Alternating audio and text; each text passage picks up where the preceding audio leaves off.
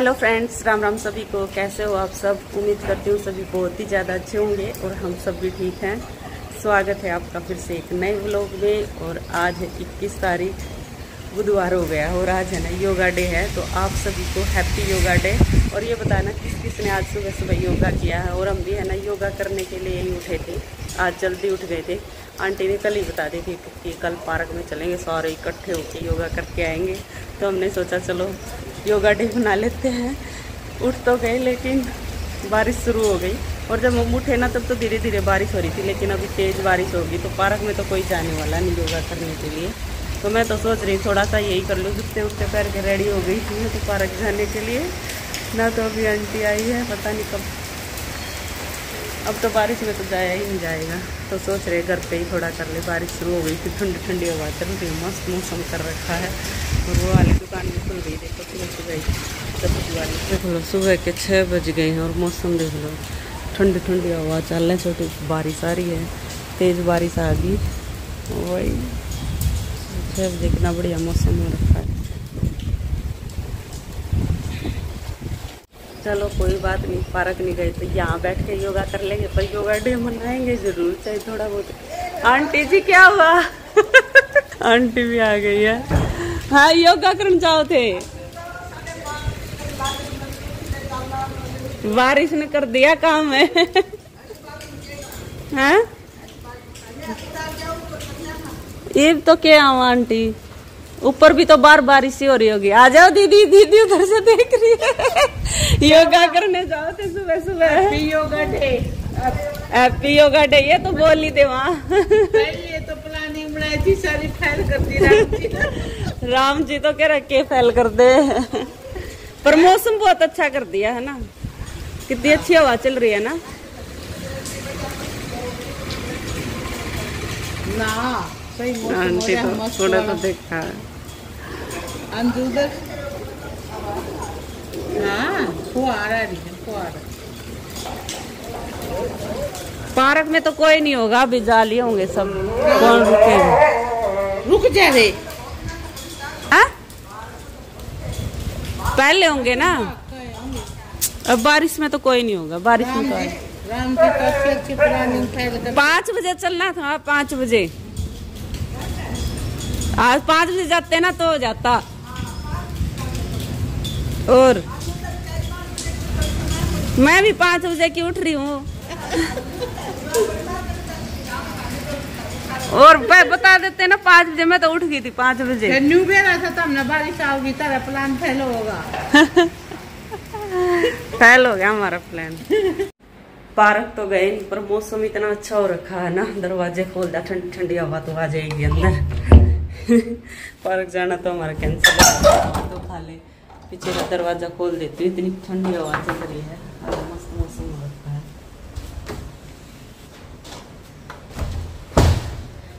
घर ठंडा हो जाएगा अभी। तेज होगी। तेज होती जा रही है। पकोड़े पकोड़े गुलगुले देख लो। कविता ने इस बार। कविता? गुलगुले को ना बढ़िया लगा। गुलगुले। डाइटिंग पर चल रहे हैं सब। गुलगुले में खाई थी नाम और- ले, ले।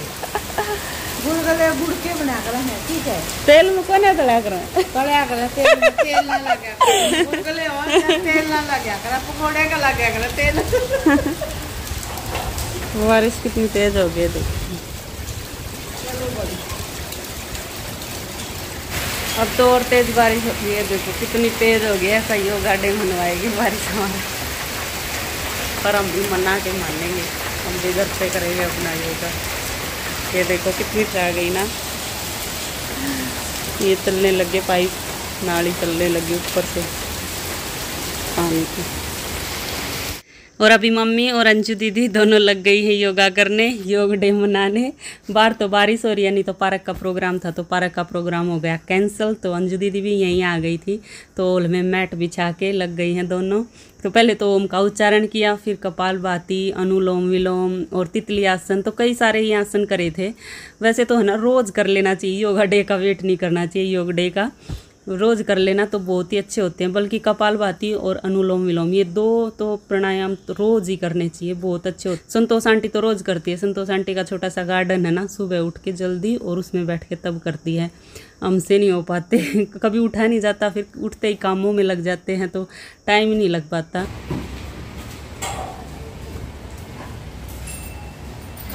दोबारा फिर रेडी हुई पार्क में जाने के लिए, फिर से बारिश आ गई। एक बार रुक गई थी थोड़ी थोड़ी फिर से आ गई कपड़े वपड़े चेंज करे फिर से जूते पहने।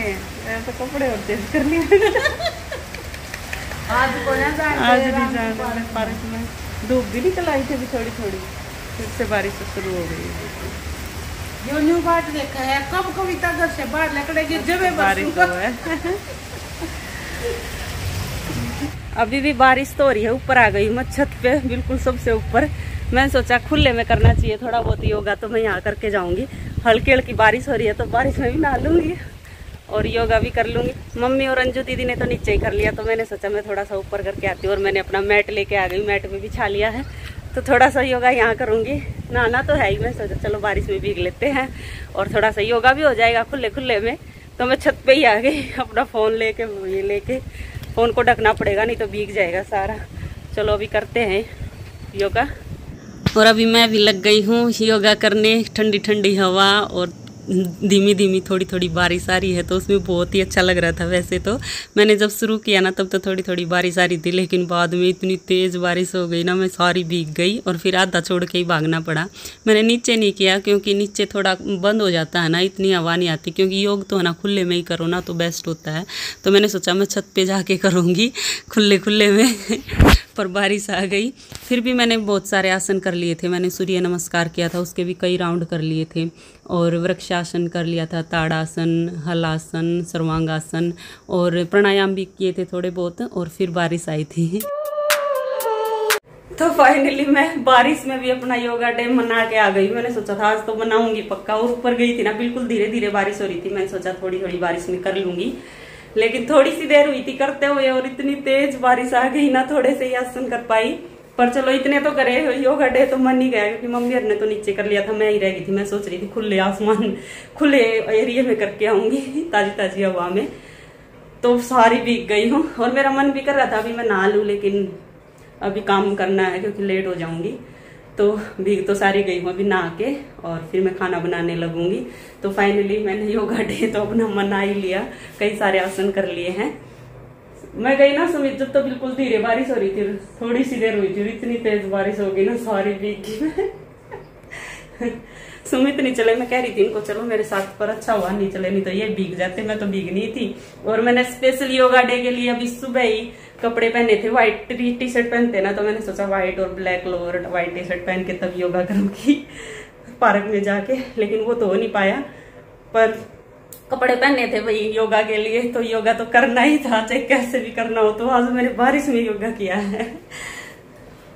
तो चलो बस, अभी मैं नहा धो के आ जाती हूँ और फिर खाना बनाऊँगी। नहा धो के आ गई हूँ मैं और अब जा रही हूँ ब्रेड लेने के लिए। क्योंकि आज हमारा है सैंडविच का नंबर, जो लिस्ट बना रखी है ना तो उसमें आज सैंडविच का नंबर है, नाश्ते में हम सैंडविच खाएँगे। तो उसी के लिए ब्रेड लेने जा रही हूँ और अब तक बारिश नहीं रुकी है। धीरे हो गई, जब मैं ऊपर गई थी, जब बहुत तेज़ थी, लेकिन अभी धीरे हो गई। आज तो पूरा दिन जड़ लगा के रखेगा। और मेरे को ऐसा लग रहा पूरा दिन बारिश होगी। खीरे कैसे दिए भैया? वो दूसरे वाले खीरे नहीं है। कहाँ गया वो? छोटू कहाँ गया?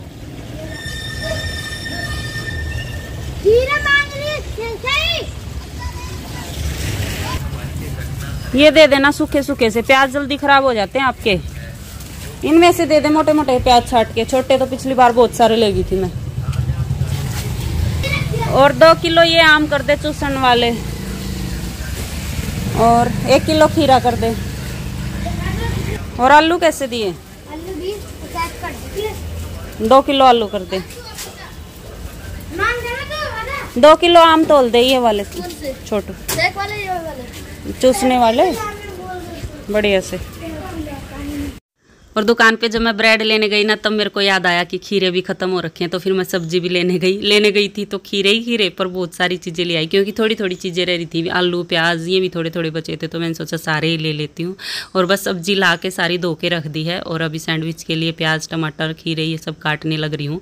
और जो गोल गोल काटे हैं सारे तो मैं छोटे काट के भर के नहीं बना रही सैंडविच तो गोल काट के और तब भर के बना रही हूँ। तो बस अभी फटाफट नाश्ता बना लेती हूँ, और इस ब्लॉग का यहीं एंड कर लेते हैं। और मिलते हैं आगे एक और नए व्लॉग में। तब तक के लिए bye bye, take care, video देखते रहना और पसंद आए तो लाइक